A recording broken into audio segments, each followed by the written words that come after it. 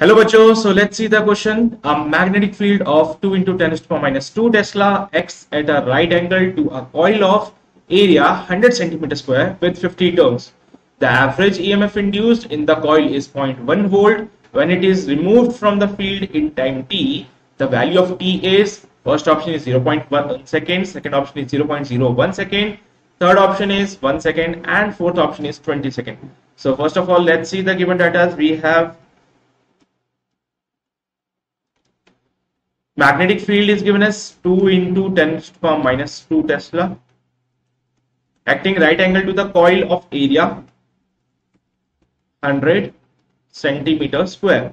So this can be written as 10 to minus 2 meter square okay? With number of turns as 50 the average emf induced in the coil is okay so e average is also given as 0.1 volt.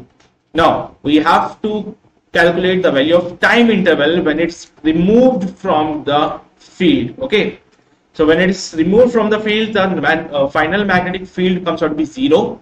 So you have this actually the initial value and from the Faraday's law you can use the concept again. Faraday's law you can use the concept of E equals to delta phi by delta T. So E can be written as N into A delta B by delta T so E can be written as NA into B by delta T, right? So this is your NB.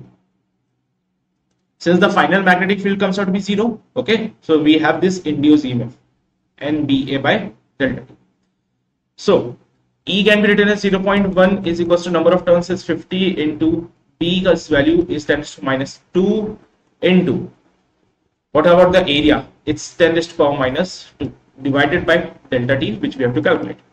So delta t can be written as uh, 100 into 10 to the power minus 2 into 10 to the power minus 2 upon 0 0.1. So 0 is can cancel out and you will get the value of 10 to the power minus 1 second.